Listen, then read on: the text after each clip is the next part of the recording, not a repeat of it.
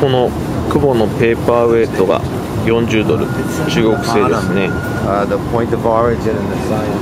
この辺が35ドル。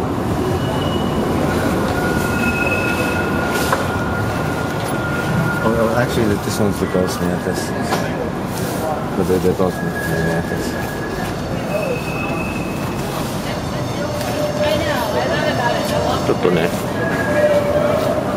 ウェブサイトがあるんでこの人がウェブサイト持ってるって言ってね、えー名刺をいただきましたんで。それで後でね値段をチェックしてどっかで高く売れないか、ねえーチェックしてみようと思います。